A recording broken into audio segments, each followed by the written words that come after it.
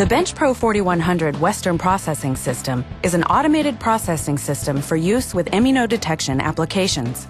It consists of the BenchPro 4100 card processing station, BenchPro 4100 Western cards, and BenchPro 4100 reagent vials. With its onboard digital display and intuitive interface of arrows and function keys, creating and running experiments this reproducibly has never been so easy. Turn the BenchPro 4100 card processing station on by pressing the power switch on the lower left side of the instrument. The BenchPro 4100 card processing station comes pre-programmed with a number of standard protocols and offers the capacity to store 17 additional custom protocols. Running a pre-programmed protocol involves three steps. First, using the up and down arrow keys, Select your protocol and press the OK button to enter your selection. Then select the size of the blot you intend to process, half blot or full blot, and press the Run button to initiate the run cycle. Prepare the following items when setting up a processing run with the BenchPro 4100 card processing station. One new BenchPro 4100 Western card, one 250 milliliter bottle, one 125 milliliter bottle, and three 25 milliliter reagent vials. In order to prevent cross-contamination, it is important that you replace reagent vials each time a new set of reagents is used.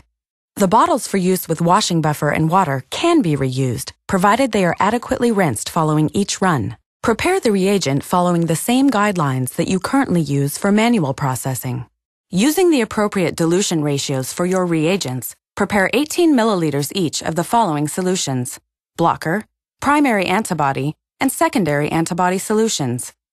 Note, while the half blot uses 13 milliliters of each solution, a full blot requires only 18 milliliters of each solution. Washing buffer and water bottles can be filled to 250 milliliters and 125 milliliters respectively. For your convenience, the tray has been laid out to reflect the order of steps in the protocol. With your vials assembled in the appropriate positions, make sure that the waste basin is free of any liquid, as the liquid sensor will detect waste presence and will not allow the run to begin until the basin has been emptied out. Place the entire tray assembly into the reagent drawer. Close the reagent drawer. You are now ready to move on to card assembly. It is important to minimize the time lapse between protein transfer and immunodetection. Therefore, make sure that the reagent setup is complete before you begin to prepare your membrane.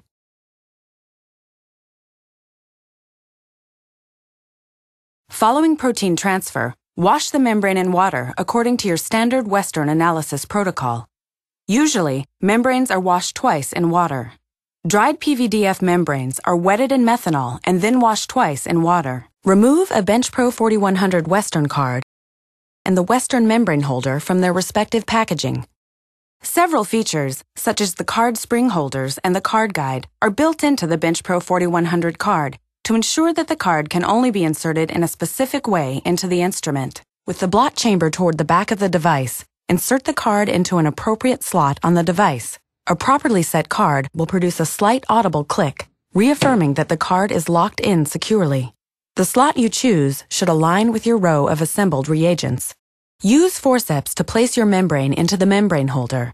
Make sure the membrane is resting flat against the holder surface, with no portion of it protruding outside of the holder itself. Using firm and constant pressure, insert the membrane holder sandwich into the blot chamber.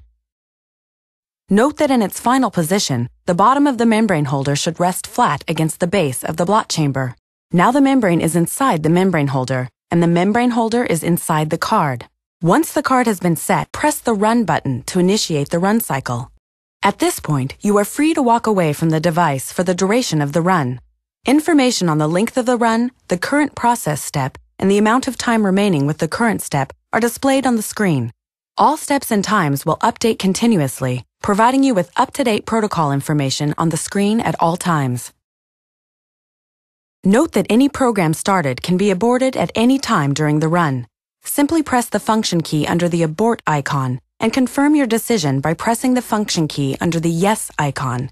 This will end your run and allow you to take the card out of the BenchPro 4100 card processing station. Should you choose to restart your run, you'll be asked to use a new BenchPro 4100 card. Using the old card in a second run will compromise blot efficacy and instrument safety.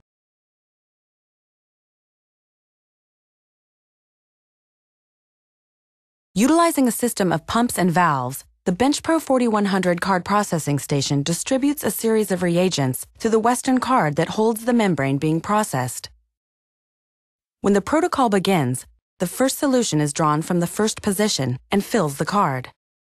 The solution is circulated within the card to ensure proper exposure of the membrane surface to reagents. Agitation is added for wash steps. After incubation, the solution can either be sent to the waste container or recirculated back to the original vial. As the instrument performs all the blocking, washing, rinsing, and incubation steps, reagents are channeled to and from the card containing the membrane being processed. All steps between membrane blotting and detection are performed inside the instrument, yielding accurate experimental data and highly reproducible results. The default pre-programmed protocols are designed to return the primary antibody back into the original vial, Custom protocols can be programmed to save any of the reagents for reuse if required. Following a completed run, only a minimal amount of cleanup is required. Simply remove the card from the instrument, discard the contents of the basin in an appropriate manner, reassemble the reagent tray, and your device is ready for the next run. If you choose to utilize the instrument's waste valve, cleanup will be limited to removing vials and bottles. For more information, go to www.invitrogen.com forward slash benchpro 4100.